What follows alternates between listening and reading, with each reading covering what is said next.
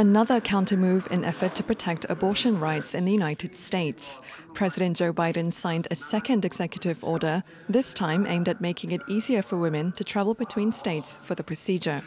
The women of America should not be the subject of partisan debate or perspective. We trust the women of America to make those decisions if she chooses in consultation with her faith leader, with her physician, with her loved one but we understand fully the government should not be making that decision for her.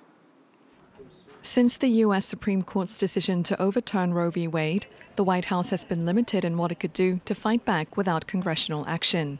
Like the first executive order signed in July, the latest order does not detail when and how abortion and reproductive rights will be protected. Biden's actions come a day after Kansas voters overwhelmingly rejected to remove abortion protections from the state's constitution. The Kansas poll is the first of many asking voters to weigh in on the matter.